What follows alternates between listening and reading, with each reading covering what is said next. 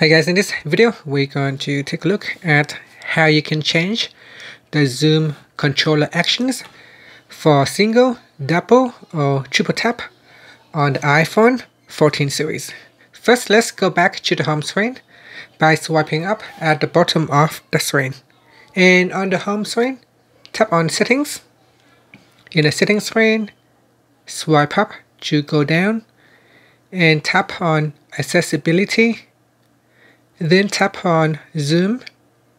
Next we go down and tap on zoom controller. Sorry we tap on zoom controller.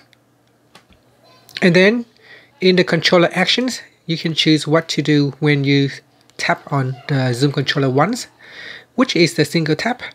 At the moment it is set to show menu or none. So if I select none you can see that if I tap on it nothing happens. And if I choose show menu and I tap on it now it will show the menu. Okay next is the double tap. You can choose what happened when you double tap. So you can choose none show menu zoom in or out or speak on touch.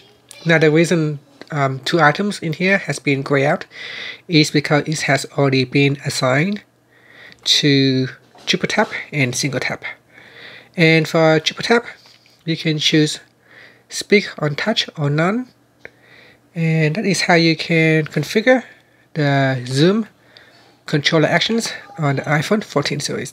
So if I triple tap on it now I can um, touch on certain items on the screen photos. and we speak out. And that's it. Thank you for watching this video. Please subscribe to my channel for more videos